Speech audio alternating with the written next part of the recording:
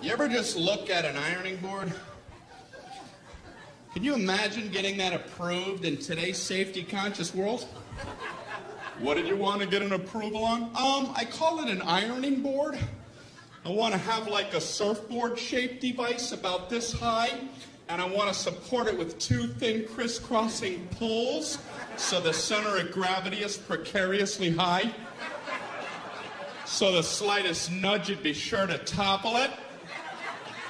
Then I want to put a big hot metal thing on the top of that with water, the temperature of lava oozing out the sides, dripping off the board for burn wounds. I want one side to be a white hot heat for scarring. I want the sheer weight to be able to cause blunt force trauma. And I want the whole thing to come to a point for puncture wounds.